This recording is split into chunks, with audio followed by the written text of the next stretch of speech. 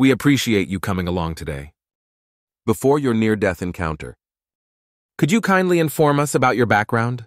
Obviously, Maria Houston is my name. I work as a high school English teacher in an Ohio small town and am 44 years old. After 15 years of marriage, my spouse Mark has produced two children. I had a very normal existence up until around six months ago. But then something happened to fundamentally alter everything. Specifically, six months ago, what happened? That was Friday afternoon, roughly at 3.30 p.m. Just ending my last class of the day, I was walking to my car in the school parking lot. I recall being somewhat short of breath and especially weary, but I attributed it to the stress of the week. You were not feeling quite right then. What then happened? I suddenly felt great pressure in my chest as I got to my car. It was like nothing I had ever known before. A weight that made breathing difficult. That is horrifying. Was it perhaps more acute, or like heartburn? Oh, is far worse than heartburn, like an elephant seated on my chest. I struggled to breathe at all. This isn't normal. Something's really wrong, I recall thinking. What then did you do? Thinking if I could just sit down? I tried to unlock my car and felt better, but then my view darkened around the margins. When I tried to shout for aid, no sound came out. My legs giving out comes last, and then everything went dark. Whoa, so you collapsed straight in the parking lot? Indeed, I seem to have done. Later on, I learned that one of my colleagues contacted 911 right away after seeing me collapse. The school nurse hurried out carrying a defibrillator and started CPR until the paramedics showed up. Thank you so kindly for seeing me. What was next? Here then is where it gets great. I had what I can only call an out of body experience while my colleagues were doing CPR and waiting for the paramedics. An out of body experience? Could you define what you imply by that? I felt as though I was floating above my body. Yet it's difficult to put into terms. I could see me slumped on the ground next to my car, surrounded by terrified people. Presumably calling 911, someone was on their phone. Though I knew something serious was happening to my physical body, I felt absolutely serene and at ease. It was the oddest sensation. That sounds rather strange. Did you find yourself afraid?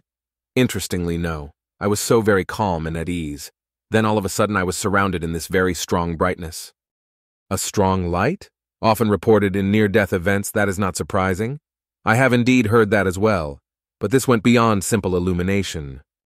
I felt myself being dragged upward as I saw the panorama open out below me. Everything around me grew to be brilliantly vivid, more so than anything I have known on earth. I was surrounded in this great affection and warmth. It was in most gorgeous, overwhelming manner. That sounds just fantastic.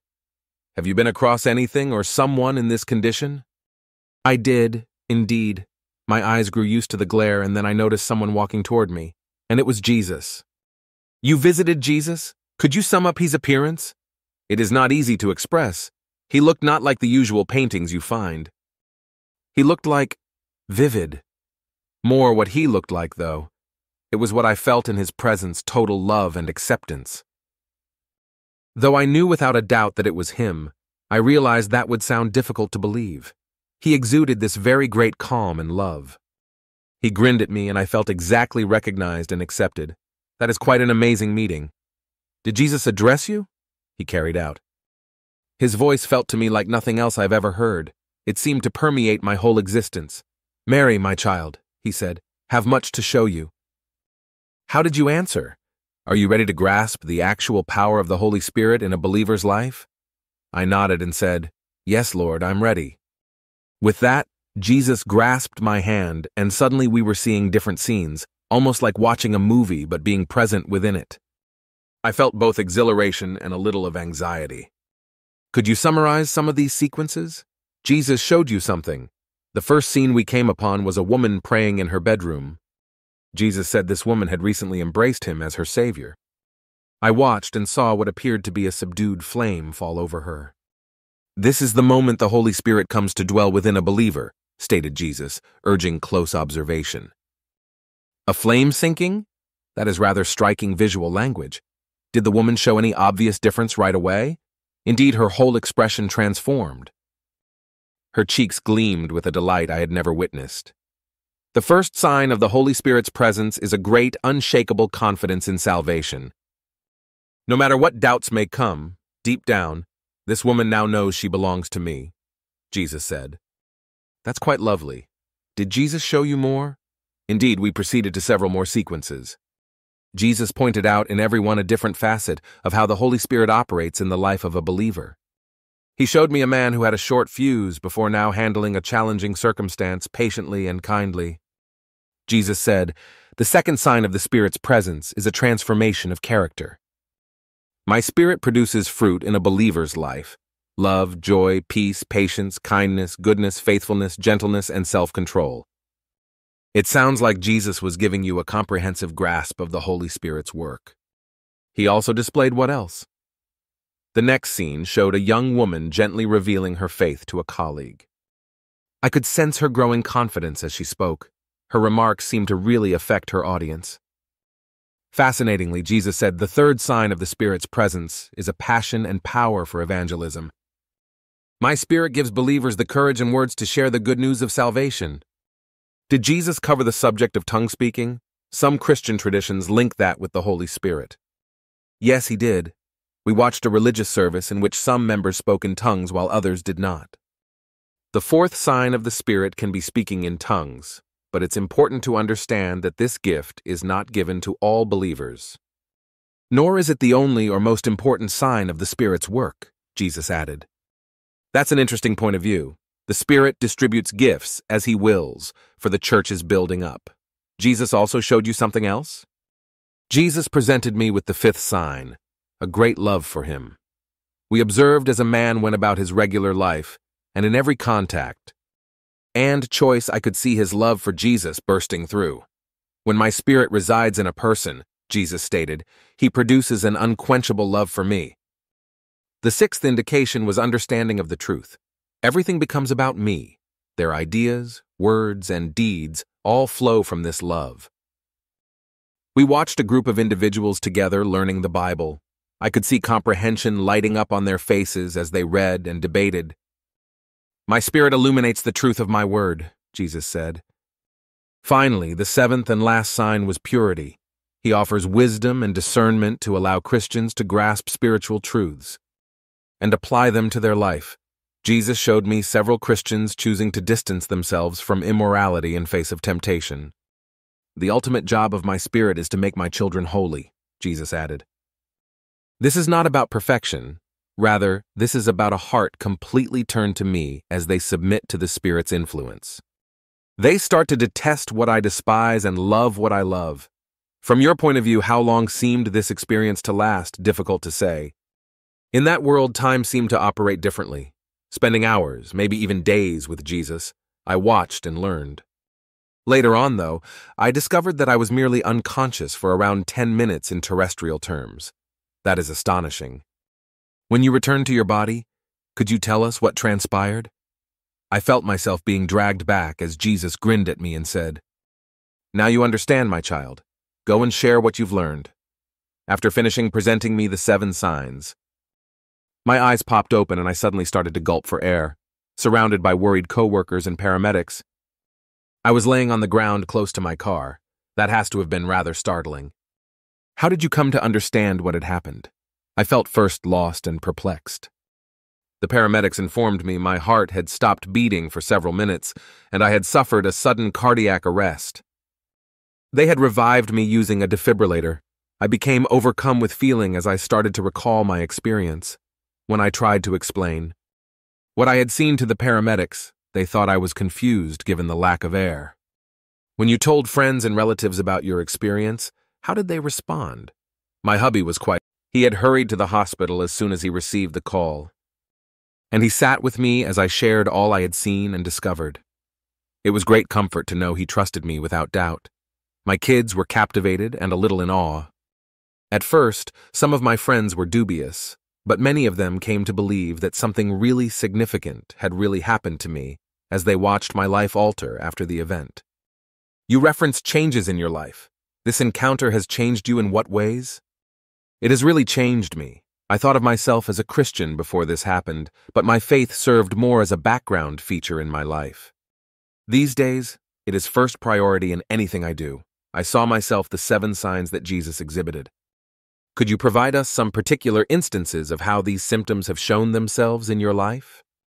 Quite sure. About the first sign, confidence in redemption, I have found that even when I err or have questions, there remains an underlying certainty that I belong to God. It comes from His love for me, not from my performance. For the second sign, transformational of character, I have noticed changes in my reaction to challenging events. One student in my class used to truly irritate me. I am now actually sympathetic to him. I can react patiently rather than frustrated. Regarding the third sign, a zeal for evangelism. I have become more forthcoming in sharing my beliefs in casual settings. A cashier recently noted my cross necklace, and I found myself readily talking about my beliefs. I used to simply mumble a thank you and carry on. That is rather interesting. Have you also run across the other symptoms? Yes, I did. About spiritual gifts, I have found an encouraging gift. When friends and even acquaintances are going through difficult times, they often come to me and I find I can provide words of comfort that truly speak to them. Deep love for Jesus shows up in my daily life as continuous internal communication with Him. Whether I'm cooking dinner or marking papers, I find my mind instinctively gravitating to Jesus all day. Regarding understanding of the truth, I have developed fresh capacity to apply biblical ideas to practical problems. During a recent faculty meeting, I was able to provide observations grounded on biblical ideas of grace and accountability that even my non Christian colleagues found useful. Lastly, about holiness, I have changed the entertainment I choose. Shows I used to enjoy now make me uneasy if they contain sexual content or support ideals against God's Word. It's not about guilt, I just lost interest in them and found myself pulled to uplifting and edifying content. That's amazing. These developments seem to have touched every facet of your daily life. They really do have. Furthermore, remarkable is the fact that these developments came from me not striving more to be a good Christian. They emerged organically from my closer contact with the Holy Spirit. Has anyone else observed these changes in you? Indeed, my spouse has made several comments on it. He notes, even in trying circumstances, I seem more at peace. And two have my colleagues observed. One of them inquired of me what my secret was just yesterday. And you told them what? I told them my story. Naturally, some were dubious, others were rather fascinated. It started some fantastic faith related discussions. Many of our listeners are undoubtedly asking how they may encounter more of the work of the Holy Spirit in their own life.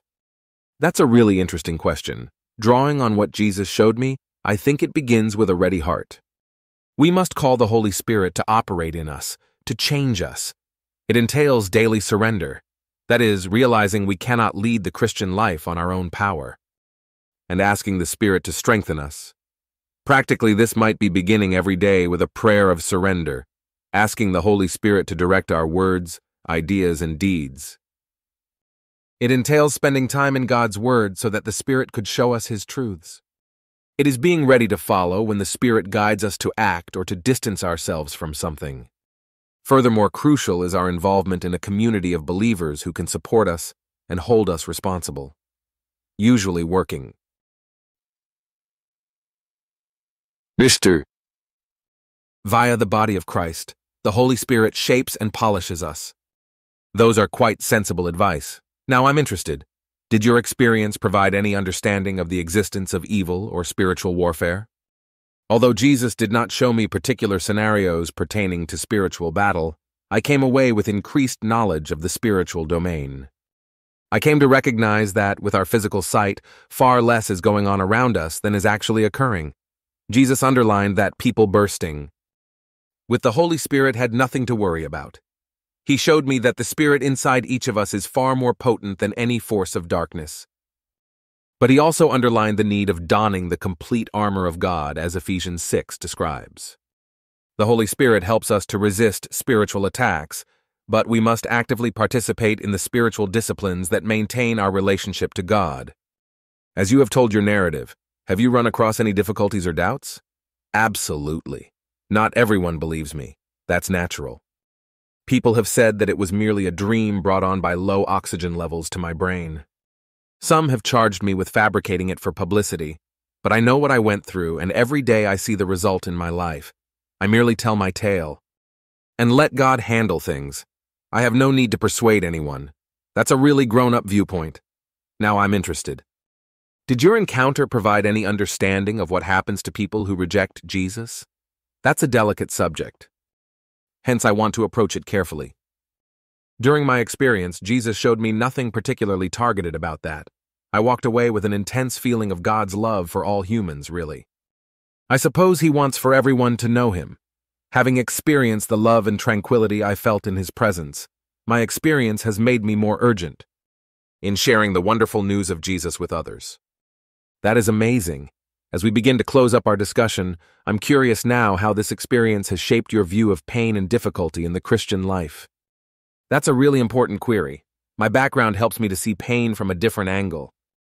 I came to see that our worldly existence is really a minor component of our eternity. Given eternity, any hardship we go through here is only transient. More than that, though, Jesus showed me how the Holy Spirit works through our suffering to hone us and bring us more like Christ. He utilizes our pain to strengthen our reliance on God and help us to grow in godly character. He does not bring about our suffering. I now view suffering as chances for the Holy Spirit to operate in forceful ways. Often, when we are most feeble in our life, is when the Spirit's strength is most clear cut. These challenging times provide us the chance to show the fruit of the Spirit. Calm in the middle of turmoil, happiness in the face of loss, love toward people who have offended us. That offers a lovely viewpoint. What last words would you like to send our listeners as we draw to an end our time together? Everyone hearing should, I urge, pursue a closer relationship with the Holy Spirit. Whether you have long standing faith or just curiosity about faith, the Holy Spirit is the secret to living the fullness of life God plans for us. Never accept a faith that is just surface level. Call the Holy Spirit to labor intensely in your life. Allow His corrections, His guiding, His promptings. Though the Spirit usually guides us out of our comfort zones, it might be uncomfortable at times. Still, I can guarantee you it's worth it. Furthermore, keep in mind that the action of the Holy Spirit in our life serves not only for our own good, it enables us to be efficient Christ witnesses in a society sorely needing Him. We become living tribute to God's love and power when we let the Spirit to operate in us. Finally, I want to underline how every believer can access what I went through the love, the serenity, the happiness in God's presence. The Holy Spirit allows this. You don't have to go through near death experience to come across God in a strong sense. Right there, waiting for you to invite Him in, is He. We really appreciate you telling us your amazing tale today. Your observations and experience have been absolutely inspirational. I appreciate Let Me Share. I hope everyone hearing will personally feel the transforming power of the Holy Spirit. If you enjoy our content and want to support us, click on the Super Thanks button below. Your Super Thanks is not just a donation, it is a blessing that supports our mission to share the transformative journey of